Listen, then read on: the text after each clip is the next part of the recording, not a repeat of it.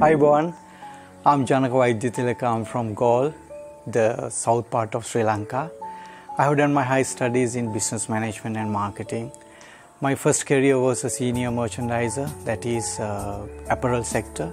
Then I merged with tourism sector as a tourist guide lecturer. In my school time, I have shown many colors in different areas. I was one active president of school uh, photographer association. As well, I was a member of school environment association.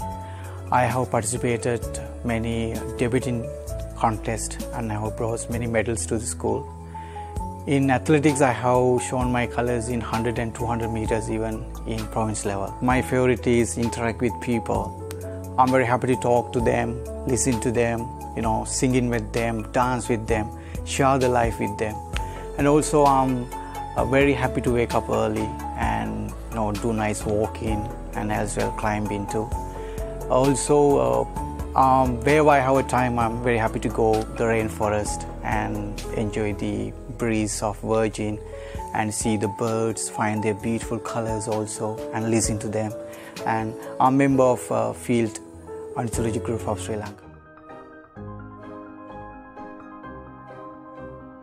Tourism is industry where fully based on service and hospitality. You know, you should have a attitude of always a smile. I think I'm that kind of person.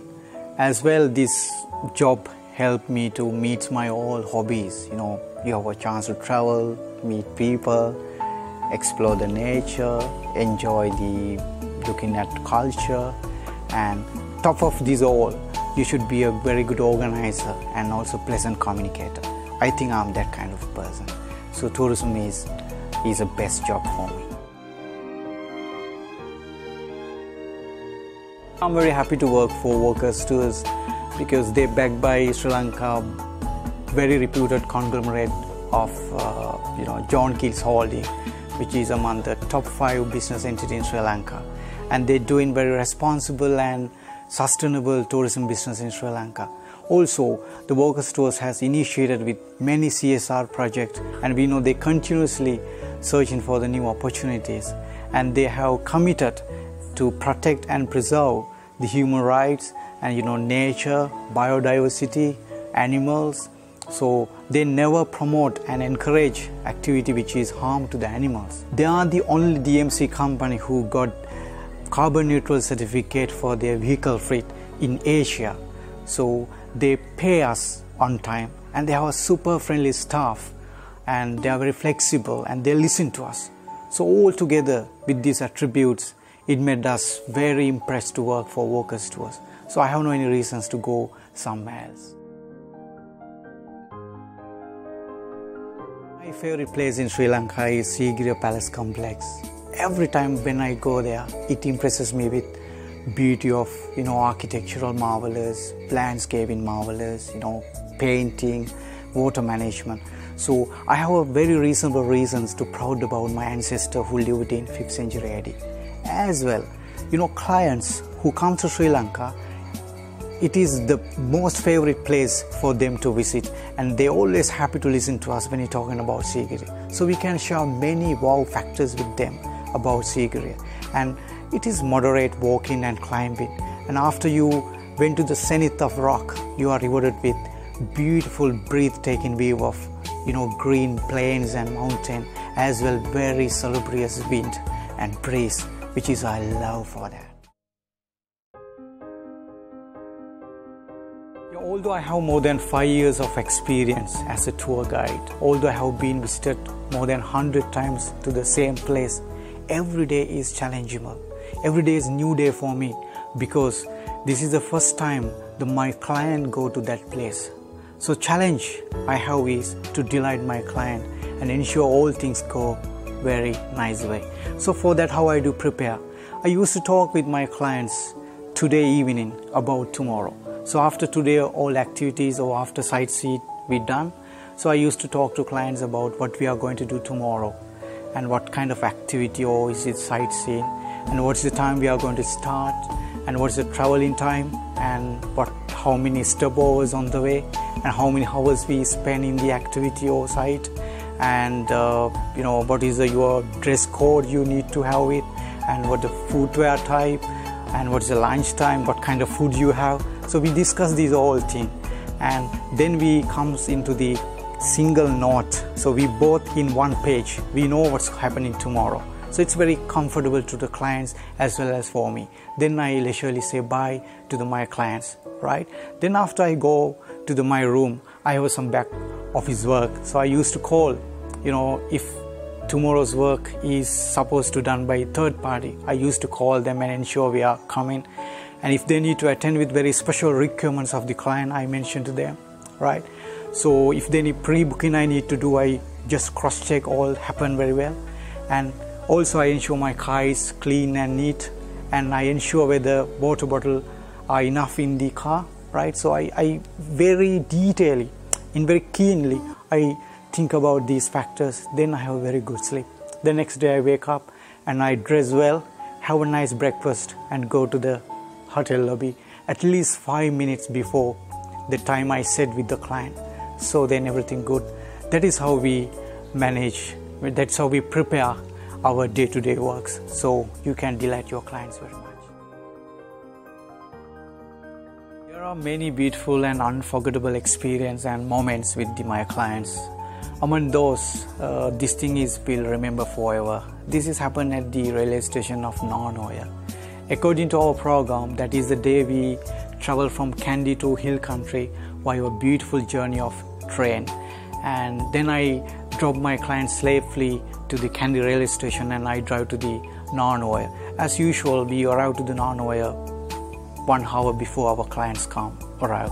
So after I arrived to the Nanoya railway station, I found the beautiful six, seven boys were playing here and there at the terminal of the railway station.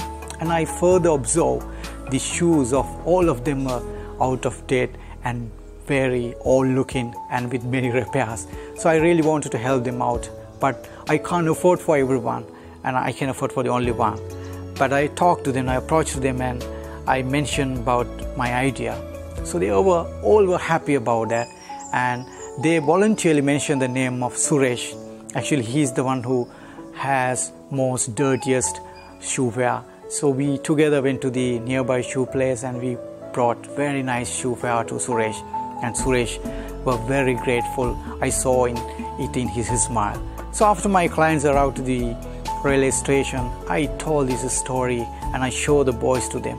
I I found this couple were very interesting to that story, and suddenly the lady uh, asked from me, Janaka, if you don't mind, can you find some nice shoes for the rest of boys?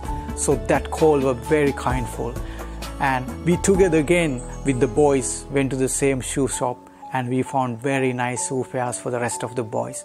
So I found the smiles of the the boys were like blooming flowers and they were very emotional. They were almost like crying about the treat we given to them. It was unexpected. And also me and my clients as well. It was very emotional time and I will remember it forever.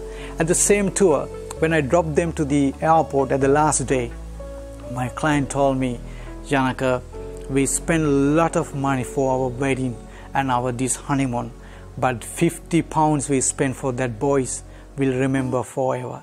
That is a fantastic. I will never forget that moment.